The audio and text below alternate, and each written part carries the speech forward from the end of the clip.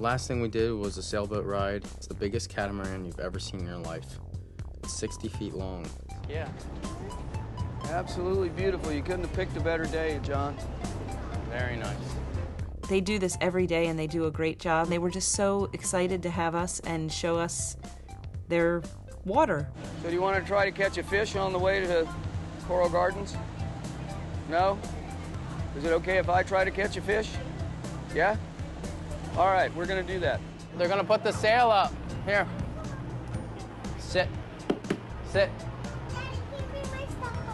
Um, let's eat down here and just sit up there. What about my yogurt? Oh, we'll get it when we're out and see. We're gonna put the sail up.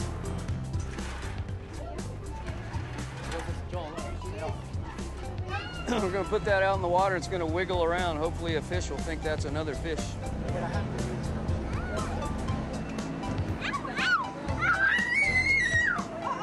A kiss for luck?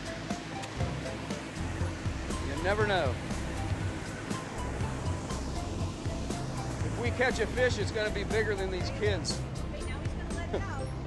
It was so wonderful. That was a fun trip.